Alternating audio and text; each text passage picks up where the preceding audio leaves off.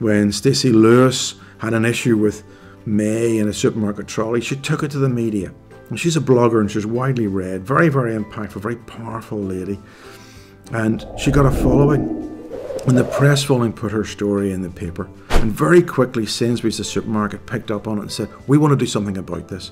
We want to bring this supermarket trolley into supermarkets for everyone. And the great thing about Sainsbury's is they're not trying to keep it to themselves. They want all the supermarkets to do this. So we've been working with Wanzl the manufacturer, and Sainsbury's and Stacie to develop the supermarket trolley seat for supermarkets throughout the UK and hopefully beyond that.